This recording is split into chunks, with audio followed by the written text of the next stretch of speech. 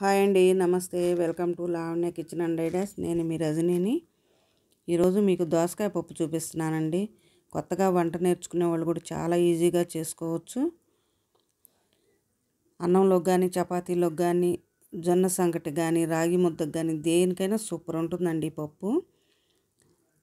అన్నంలో గంట పప్పు వేసుకుని రెండు స్పూన్ నెయ్యి వేసుకొని తింటే అబ్బా ఆ రుచే వేరండి. ఎలా చేయాలో చూపిస్తాను. ముందుగా ఒక గ్లాసు కందిపప్పుని కుక్కర్లో వేసుకుని రెండుసార్లు కడుక్కోవాలి. కడిగిన తర్వాత మనం ఏ గ్లాస్ అయితే కందిపప్పు తీసుకున్నామో అదే గ్లాస్ తోటి రెండు గ్లాసుల ఎసురు పోసుకోవాలి. ఇప్పుడు ఒక కప్పు దోసకాయ ముక్కల్ని వేసుకోవాలి. నేనైతే ఇత్తనాలతో కట్ చేశానండి. మీకు ఇత్తనాలు ఇష్టం లేకపోతే తీసేయచ్చు. రెండు మూడు పచ్చిమిరపకాయ ముక్కలు ఒక పెద్ద ఉల్లిపాయని ముక్కలు కట్ చేసుకొని వేసుకోవాలి. నాలుగైదు వెల్లుల్లి రెబ్బలు కొంచెం చింతపండు. దోసకాయ పులుపు ఉంటుంది కాబట్టి కొంచెం వేసుకోవాలి. ఇప్పుడు పావు స్పూను పసుపు ఒక అర స్పూను కూరకారం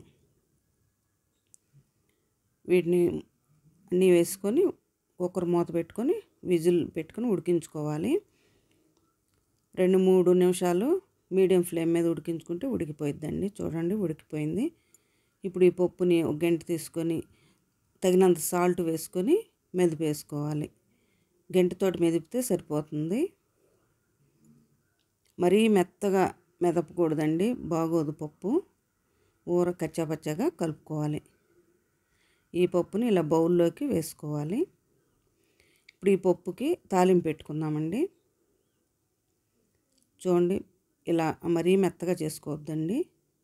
స్టవ్ మీద పాన్ పెట్టుకొని రెండు స్పూన్లు ఆయిల్ వేసుకొని రెండు మూడు ఎండుమిరపకాయలు ఒక స్పూన్ తాలింపు గింజలు వేయించుకోవాలి.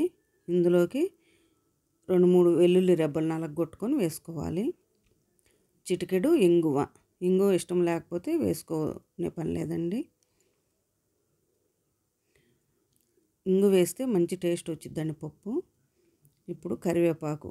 వేసి ఈ తాలింపుని ఈ పప్పులో కలిపేసుకోవాలి. చాలా సింపుల్గా అయిపోయింది కదండి పప్పు. కలుపుకొని ఇప్పుడు ఈ వేడి మీదే కొంచెం కొత్తిమీర. రెడీ అయిపోయిందండి. వేడి వేడి దోసకాయ పప్పు.